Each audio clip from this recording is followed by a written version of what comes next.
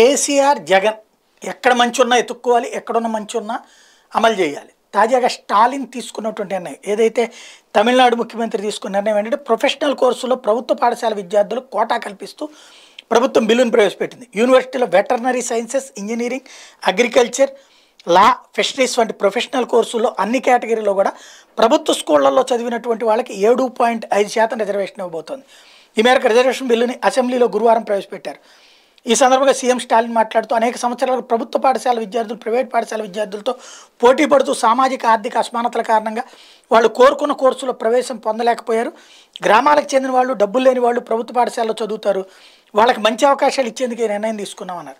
ప్రతిపక్ష అన్నాడీఎంకే కూడా ఈ బిల్లును స్వాగతించింది. ఆంధ్రప్రదేశ్లో తెలంగాణలో ఇలాంటిది జరగాల. ప్రభుత్వ పాఠశాలల్లో చదివేటువంటి వాళ్ళకి అలాంటి ప్రొఫెషనల్ కోర్సులు. అయితే ఇక్కడ అసలు ఆల్రెడీ యూనివర్సిటీల్లో ఓన్లీ వాళ్ళే చదువుతున్నారు. ప్రైవే మామూలు డబ్బు ఉన్నటువంటి వాళ్ళందరూ ప్రైవేట్ యూనివర్సిటీలో చదువుతున్నారు. డబ్బు లేని పేదలే ఇక్కడ ప్రభుత్వ యూనివర్సిటీలో కూడా చదువుతున్నారు. అయితే ఈ రెండు ప్రభుత్వాలు ఆలోచించాల్సింది ఏంటంటే ప్రభుత్వ ఉద్యోగాల్లో ఒక ఐదు శాతమో పది శాతమో ఇలా ప్రభుత్వ పాఠశాలల్లో చదివచ్చిన వాళ్ళకి ఇవ్వగలిగితే బాగుంటుంది.